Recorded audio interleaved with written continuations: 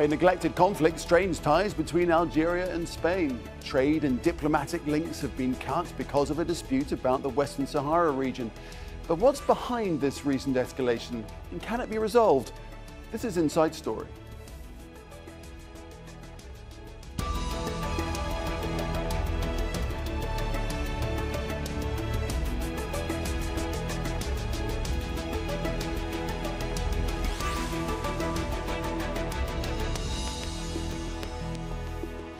Hello there and welcome to the programme. I'm Nick Clark. A contested region in northwestern Africa is straining ties between Algeria and Spain. The Algerian government has suspended a friendship agreement and halted all trade except for natural gas for now. The dispute centres around the status of Western Sahara. The region was a Spanish colony until 1975. Morocco then took control in a move that's not been recognised internationally. Algeria supports fighters who've been calling for independence in Western Sahara. In March, Spain's Prime Minister angered Algeria when he endorsed Morocco's plan to give some autonomy to the region. The dispute highlights a difficult balancing act for Spain. Madrid wants more energy supplies from Algeria, while at the same time putting pressure on Morocco to stop the flow of migrants into Spanish territories in North Africa. Estamos en estos momentos At the moment, we're looking into the scope and practical consequences of this measure, both at the national and the European level, so as to give a correct response in a calm and constructive yet firm way to defend Spain's interests and those of its businesses. Well, Western Sahara has been the subject of a long running territorial dispute between Morocco and the indigenous Sahrawi people led by the Polisario Front. The movement says the region is its homeland and has pushed for independence for decades. But Morocco says it belongs to it. The dispute led to a 16 year conflict before the two sides agreed to a UN backed ceasefire in 1991. Today, more than two thirds of the region is controlled by Morocco. And last month, the Netherlands joined the United States and other countries supporting Morocco's plan to grant some autonomy. Algeria is the main supporter of the Polisario Front, and many refugees from the region live there.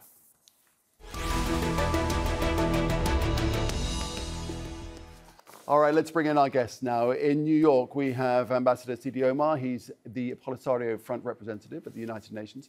Uh, in Casablanca, Yasmine Hasnaoui, North Africa Affairs Specialist. And in Lisbon, we have Riccardo Fabiani, a project director for North Africa at the International Crisis Group. A warm welcome to each one of you. Thanks for joining us here today. Uh, Riccardo Fabiani from the International Crisis Group, if I could start with you. How serious do you think this development is, Algeria suspending trade and, and breaking off this uh, friendship agreement? I think it's uh, pretty serious, particularly considering that uh, this is only one episode in a long series of, uh, uh, let's say, retaliatory measures that Algeria has been taking against against Spain uh, over the past weeks. I think it shows very clearly that the Algerian leadership is very much bent on the idea that they want to put maximum pressure or as much pressure as possible, really, on Spain uh, to push Madrid to change position on this issue, or otherwise they're ready to uh, make Spain pay a heavy price uh, for its diplomatic shift. And obviously, this is, I would say, uh, obviously dangerous and and and uh, worrying for Spain, uh, particularly from a bilateral diplomatic perspective, considering the energy ties and the, migrator- the migration issues that tie the two countries.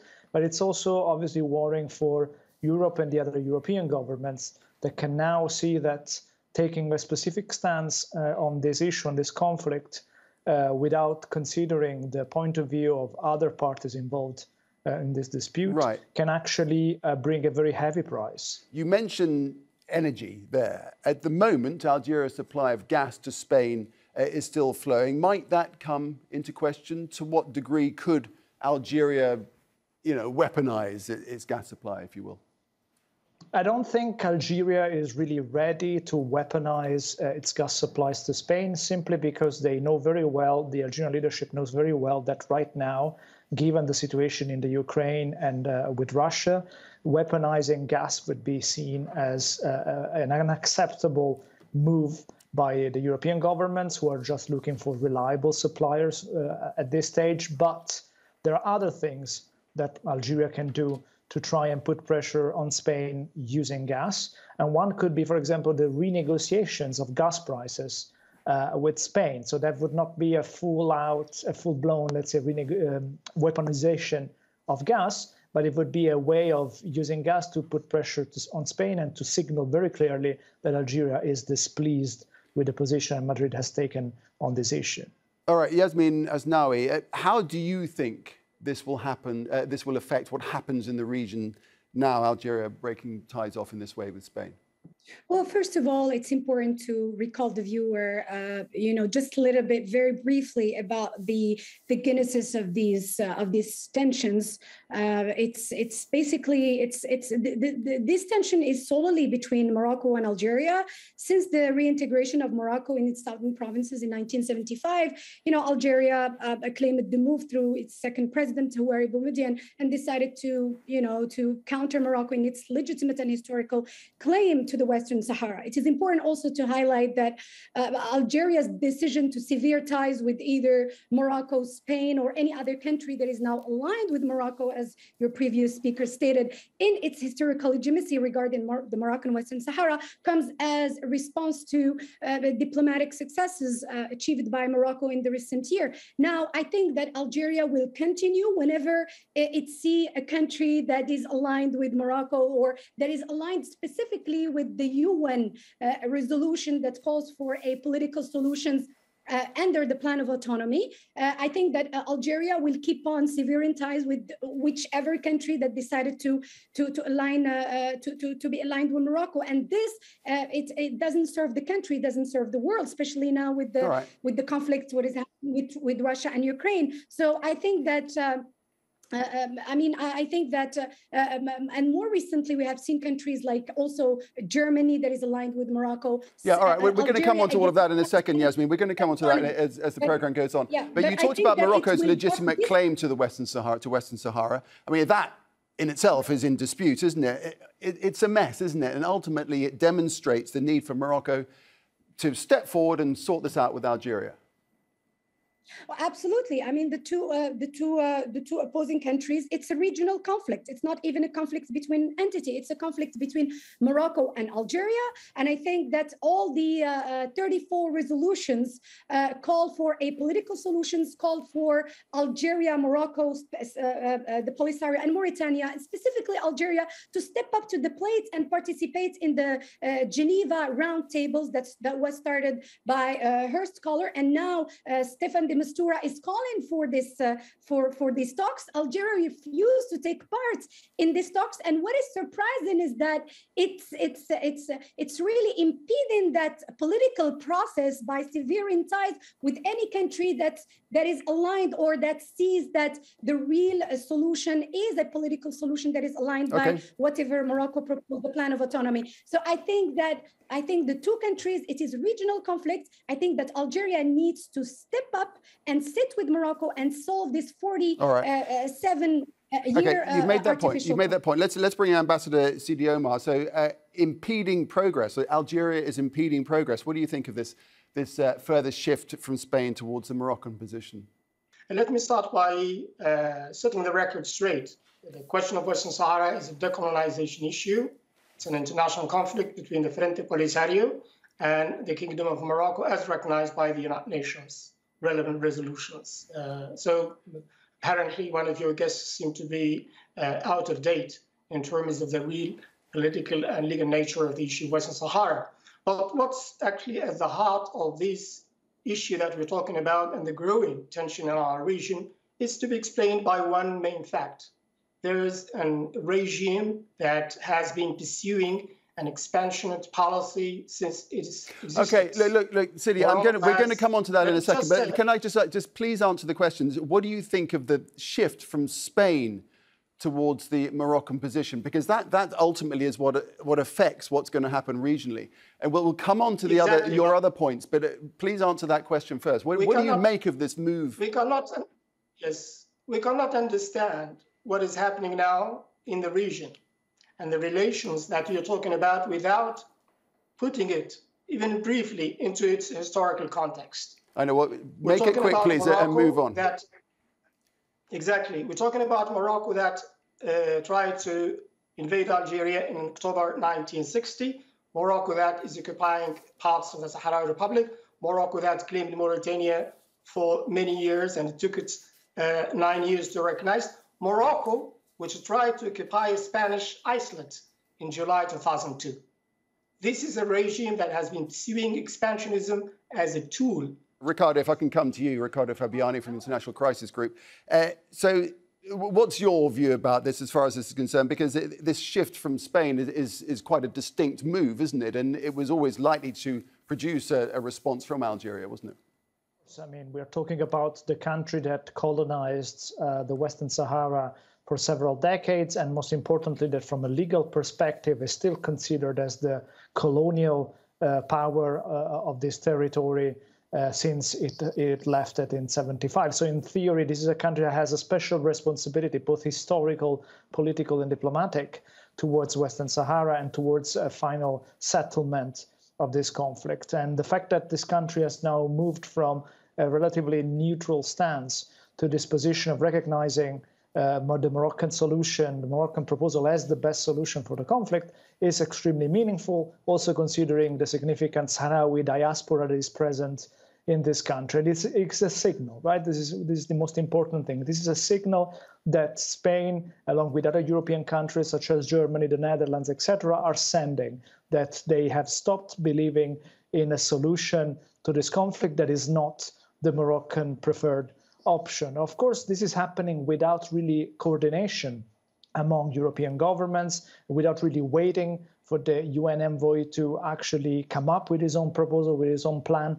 And I think this is obviously problematic because it means that it's unclear really what the European position here, here is, if there is a unified position, of if there are actually several European positions, and they are not that are not negotiated or planned in, a, in advance or coordinated with the UN, which remains the main framework within which this conflict is supposed to be uh, settled.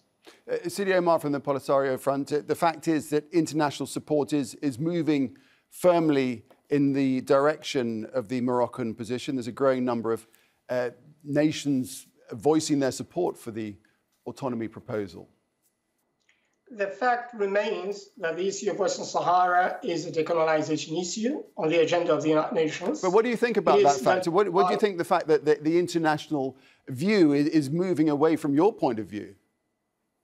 This is not true. We're speaking about the position of a few countries. That's what it is. Mm-hmm. But I'm talking a few miles from the United Nations headquarters, where the issue is still on the agenda of the uh, Fourth Committee as decolonization issue. It is treated by the Security Council, where France, that you've mentioned, and even the United States of America are sitting, and the position is one of calling for a solution that provides for the self-determination of the people of Western Sahara, because simply we cannot imagine an, a United Nations advocating and giving its blessing to an act of illegal occupation.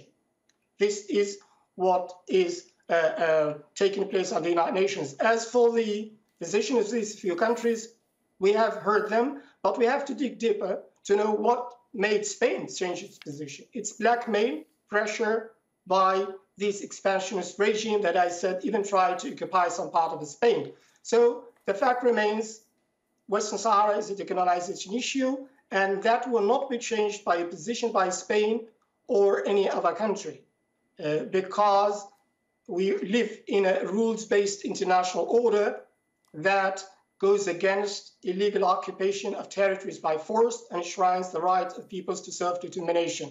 And this is uh, what is the case. And this is what the Sahrawi people have been fighting for, and they will continue to fight for their rights, no matter how this or that country expresses preferences for an illegal uh, proposal that has no basis whatsoever. Do you think this could now escalate into conflict, Sidi Omar? Absolutely. The position taken by Spain and other governments will only add to the instability of the entire region because we are they are encouraging an expansionist regime to go on with its attempt to force and impose realities on the ground. We are in a world, as I said, based a rules-based world that goes against occupation. And that's why the legal occupation by Morocco has never been uh, recognized by the United Nations. The United Nations has never recognized the illegal occupation of parts of the Sahrawi Republic, which is a full and founding member of the African Union. So, indeed, unfortunately, these countries are just giving more ammunition to the occupying state of Morocco to not engage seriously in the peace process, which the personal envoy, Mr. Staffan de Mistura, is trying to revive after Morocco breached the ceasefire in November uh, 2020.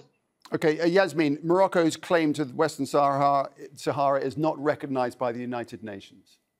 Well, uh, the Western Sahara conflict is, first of all, only and solely under the Security Council. Now we have seen uh, those countries like the United States, France, uh, Spain, which is the former colonizer, and uh, uh, that actually recognized uh, the, the plan of autonomy, which which is under the Moroccan sovereignty, which is which claims that Morocco to have the Western Sahara under its its sovereignty. So for me, I think that the problem is solved within. It will be solved and solved within within within the secure within the Security Council, and no other body, not even the African Union, is responsible of this uh, to solve this issue. Only the Security Council. We have seen more than 34 resolutions that call for a political solution. The referendum is a bygone uh, uh, referendum, which which we don't for for 18 years. It's a dead. It's but why? A, it's why a, it's a, it's I was going to ask you about that, Yasmine. Why is the referendum dead? What happened to it? It was proposed way back in the early because 90s, wasn't not, it? Why did it? It's just... not a credible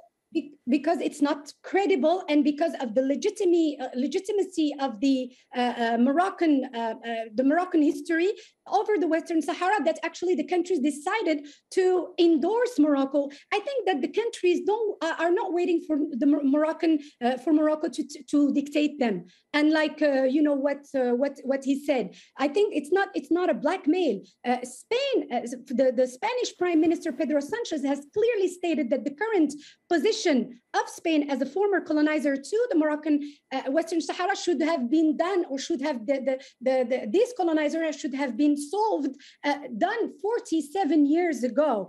And you will see other countries uh, in the European Union that follow suit uh, Spain in this, uh, uh, in this claim. I think that the problem now is within Algeria. It's Algeria that's actually impeding the, the peace process. It's Algeria that needs to recognize the, the historical implication to the impediment of, to this artificial conflict. Algeria needs to step to the plate and participate okay. genuinely in round table right. of Geneva. You've said Finally, that. We've already established finish. that. We've the already established. You, well, okay, just you've got 30 that, seconds that, more. That's, this era is not an era of, of, of, of, the Cold War. So I think that the, the, the, the, Algerian citizens need, need more the Algerian regime to solve the internal economic uh, uh, uh, crisis of Algeria instead of mingling into right. a war with, uh, with Morocco that won't lead uh, anywhere. Riccardo Fabiani, we can see, I mean, we can see the difficulties here, can't we? Morocco regards this area as the southern provinces of Morocco. Algeria regards it as under occupation since 1975. The UN says it doesn't belong to anybody.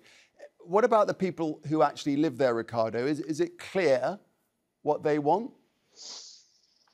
Um, I don't think we can say with certainty, uh, given that a referendum or any sort of uh, popular uh, survey uh, has never been conducted. We, we cannot really say with certainty what the uh, population wants, right? Also, because we're talking about a very complicated picture here. There are Sahrawis who are based in the refugee camps in Tindouf, Algeria. There are Sahrawis who live uh, in Morocco controlled uh, Western Sahara, and there are obviously there's also a growing population of uh, let's say Moroccans who have moved to Western Sahara. So really identifying with certainty, with clarity, who wants what has become, I would say, a very complicated matter, which is, you know, why, of course, we, co- we keep talking and we keep going back to the issue of the UN framework and the fact that mm-hmm. there needs to be some sort of compromise uh, a solution, and most importantly, support for the UN framework uh, at this moment, given that unilateral moves, unilateral measures by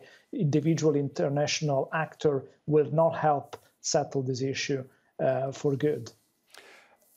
Uh, Sidi, if I can come to you, how does what is going on affect the lives of the people living in the region, the communities and so forth? Give us a paint a picture for us of what's going on on that front. Indeed, uh, what uh, our people are living under in the occupied territories of the uh, Sahara Republic is, is, is appalling.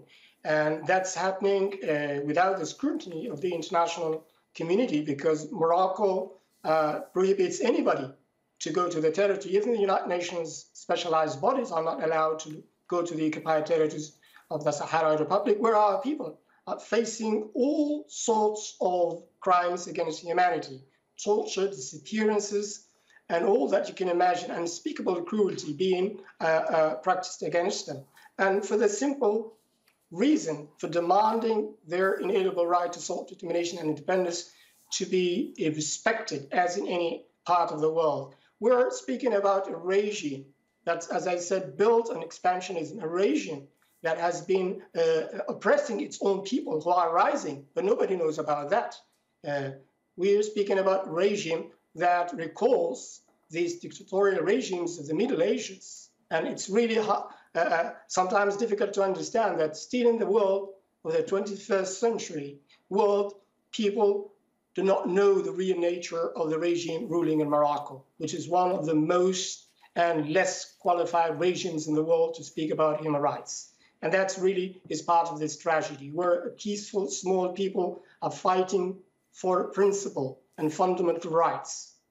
Yasmine, but at the uh, same time, people Yasmine, are speaking about Yasmine Sidi Omar there is talking about a, a, a peaceful people fighting for their rights? Well, I mean, it's their own rights, whatever they believe in. But I believe that uh, it's important to uh, to to uh, to remind the viewer about the reality of the West Moroccan Western Sahara, the southern region. There are 80% of the Sahrawi population who live in the Moroccan Western Sahara and who participate fully and freely in the public policies of this of this region, as well as at the national and and and local elections. Now, at the level of of Tindouf, the Tindouf camps, one has to know that's the only camp in the world that were not censed. And because of Algeria has not allowed the UNHCR to sense this, uh, the, this population, how can we know the number of this population? They live in dire positions, uh, uh, uh, uh dire conditions, and they are vulnerable to the recruitment of, of, of terrorists that come from the Sahel. So I think because of the, not I think, I'm, I mean, this conflict, because of this artificial conflict,